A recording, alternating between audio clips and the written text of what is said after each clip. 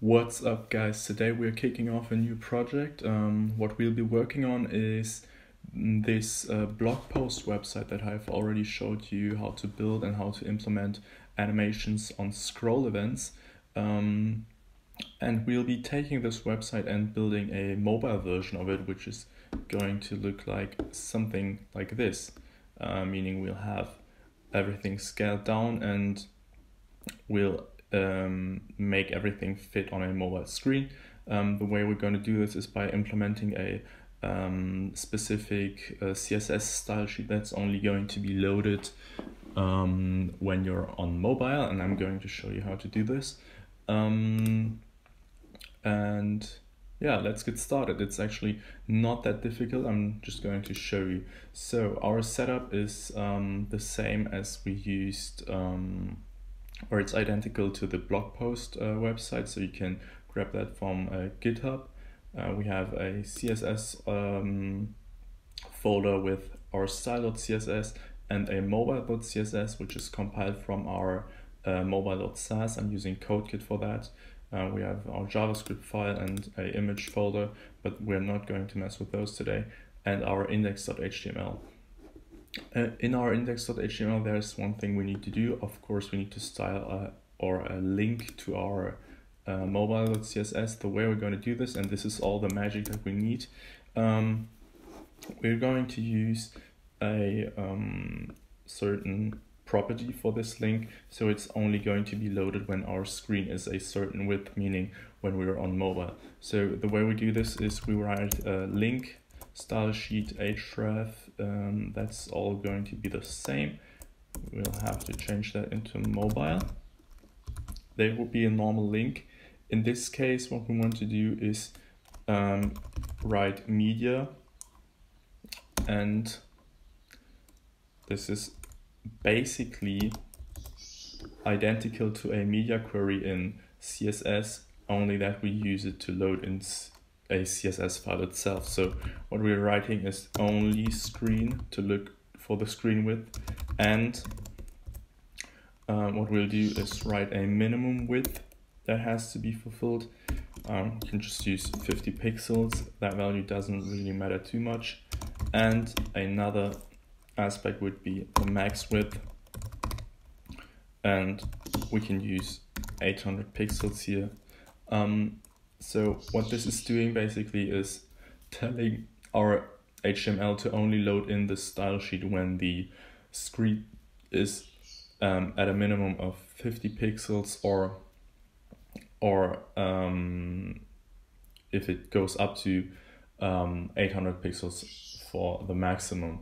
Um, otherwise, this style sheet will not be loaded in and we won't have any mobile styles. Um, let me just check if this works. Let me demonstrate how this is going to work. So in our mobile.sass, we'll simply write background color red for everything. Um, so we can check whether this is working. Um, let's go on inspect and there we go. Uh, everything turned red.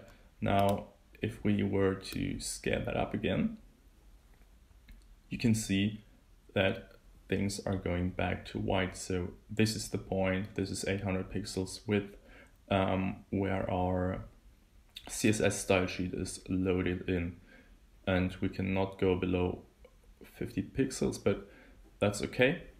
It's definitely working. Let's use iPhone 7 size, that's okay. And then what we're going to do is um, basically start um, writing our styles so everything fits onto this mobile um, screen size. So first thing we're going to need to do is remove this, of course. And um, let's start off by um, removing elements that we do not need. So what we do not need is the sidebar um, because we cannot use it on mobile and also the search icon.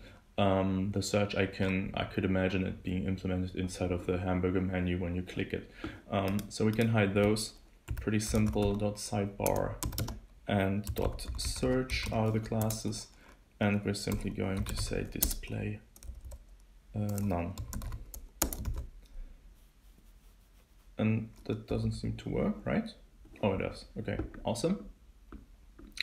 Um, So next thing we need to do is if we look at our um, normal style sheet, we can see that we have um, body display flex and flex direction row. That's because on the, just let me just pull that up again. Yeah, because here we do have a row of a sidebar and then the image and then the article itself.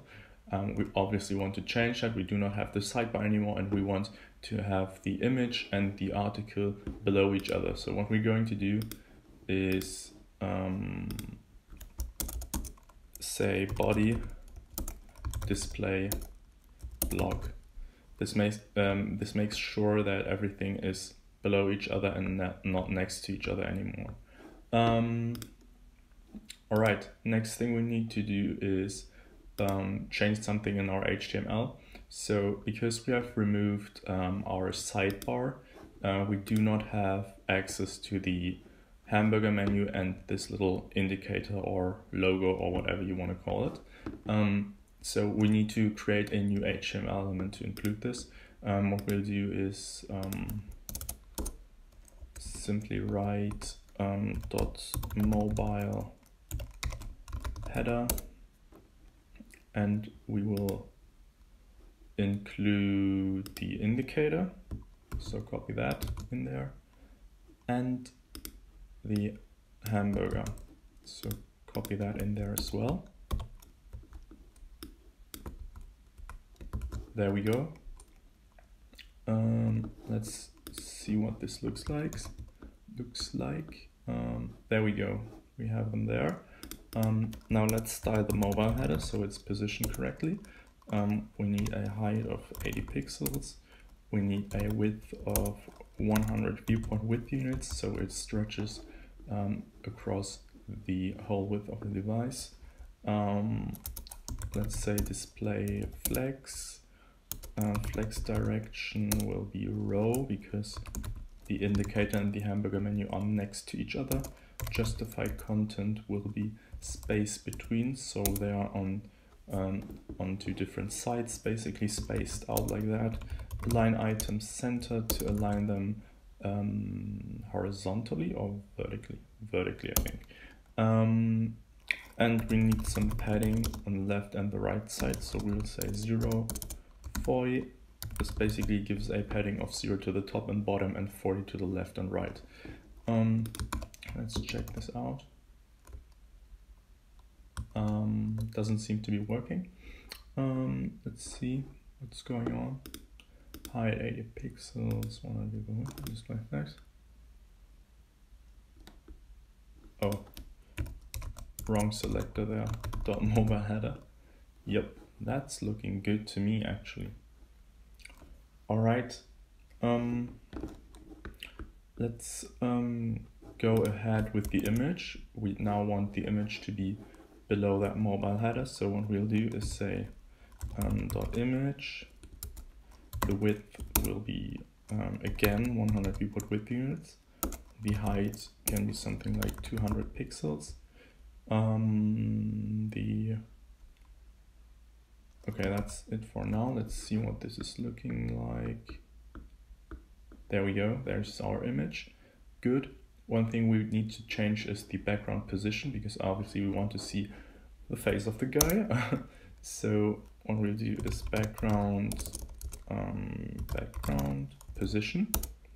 And we can use um, percentage values here for the X and Y. 17% and 17% is something that worked. Um, and we'll give it some margin bottom um, to space things out a little more. Oh, alrighty, that's looking good. Um, next thing we need to take care of is, um, no, actually not there. Um, we need to take care of our article. Um, so first thing we're gonna do is say.article because that's the wrapper of everything, I think. Uh, yeah, there you can see it, it's the wrapper.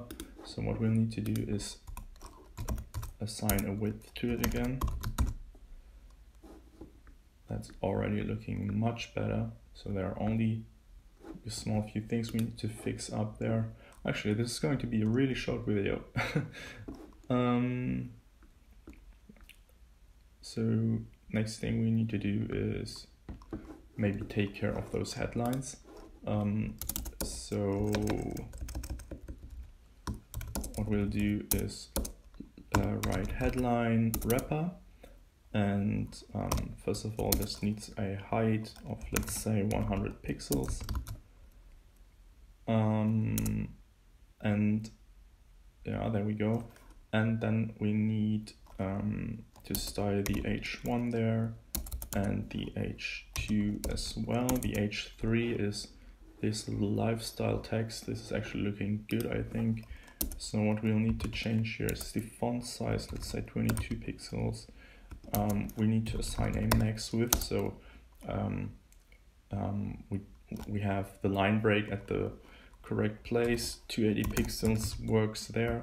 Um, line height needs to be changed as well because we're changing the font size and let's say letter spacing should only be one pixel there we go that's looking really good um, mm, next thing will be font size for the h2 let's say 15 pixels in this case a little smaller line height will be um, 23 pixels then.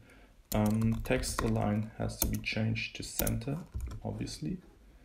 And again, we need a maxed width of 250 pixels. That's looking good to me. Um, so next thing we need to do is change um, some stuff about our paragraphs here. So first of all, let's take a look at the wrapper. Text wrapper is what we're looking at and change it to, um, actually no, let's do text wrapper and the paragraphs inside of it. So um, what we need to change is first of all the font size to 13 pixels. Um, then as well the line height again to 23 pixels. Um, margin bottom should be lowered a little bit to 15 pixels so we do not have such a big gap between each paragraph anymore. Um, text align could be changed to justify and we need them to have a different width um, the way we're going to do this is say text wrapper padding should be zero and then 40 pixels on the left and right.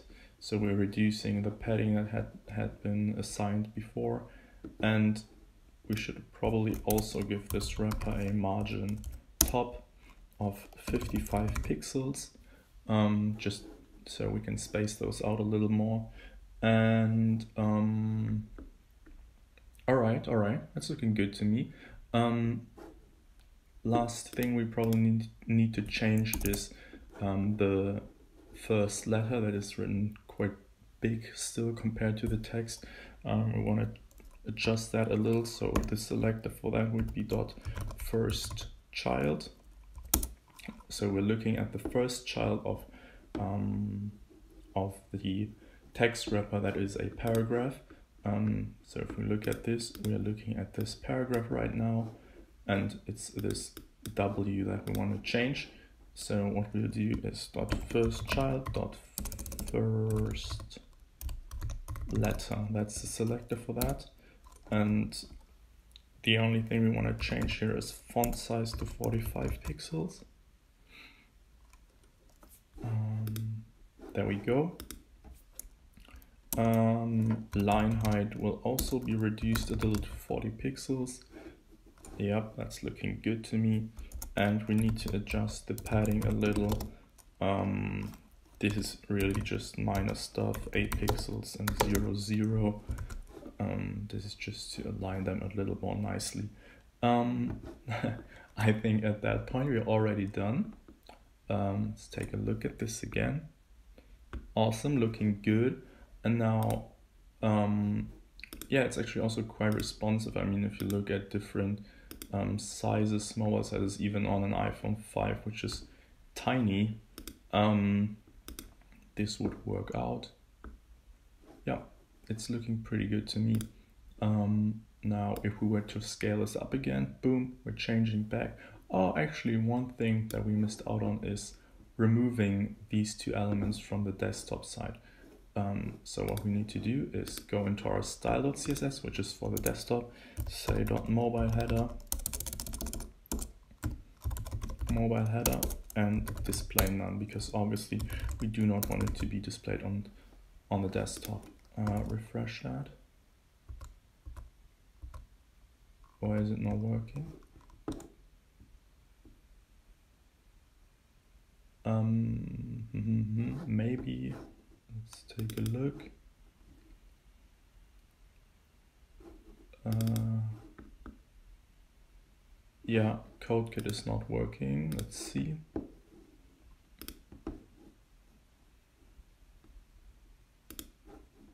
Mm, needs to compile it in there.